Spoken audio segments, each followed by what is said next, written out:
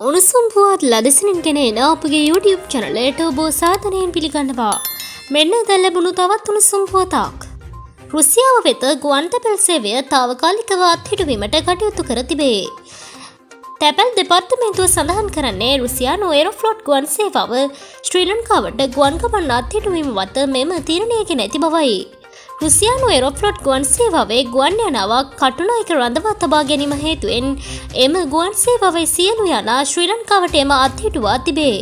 එමෙන්ම මෙරට සිටින සියලුම ජාතිකයන් ආපසු කැඳවීමටද රුසියාව තීරණය කර ඇත.